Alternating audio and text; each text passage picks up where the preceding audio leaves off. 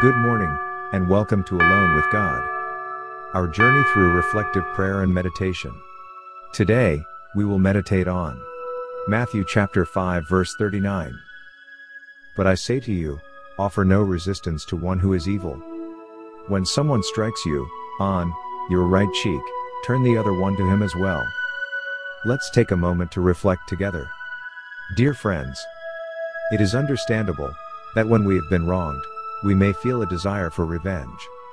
It can be difficult to forgive and forget when we rely solely on our own strength. However, I want to remind you that God's grace is more than sufficient to help us respond with compassion, kindness, humility, understanding, and mercy. Whenever we face betrayal or injustice, may we turn to God for guidance and grace, just as Jesus did. He chose to pray for and forgive those who persecuted him, and we can follow his example.